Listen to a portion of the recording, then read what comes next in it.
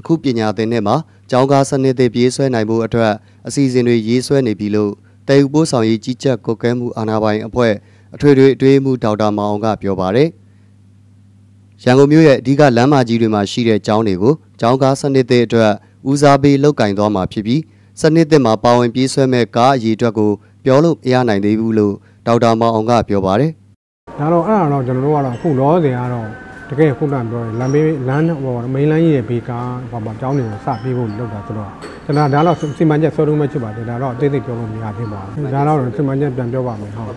2018ခုနှစ်ကစပြီးရန်ကုန်မြို့ကကျောင်းကားတွေနေရာမှာမီနီဘတ်ကားအစီးရေ200နဲ့အစားထိုးနိုင်ဖို့အတွက်ရန်ကုန်တိုင်းဒေသကြီးအစိုးရအဖွဲ့ကပြင်ဆင်ခဲ့ပြီးအခုပညာသင်နှစ်မှသာအဲ့ဒီအစီအစဉ်ကိုအကောင့်ထဲပေါ်နိုင်ဖို့အတွက်အစီအစဉ်တွေရေးဆွဲနေတယ်လို့သိရပါတယ်။ကျောင်းကားစနစ်သစ်လောက်ကင်နိုင်ဖို့အတွက် ကျောင်းပေါင်း22ကျောင်းကိုစီးရင်ကောက်ယူခဲ့ပြီးကမာရွတ်မြို့နယ်တဲက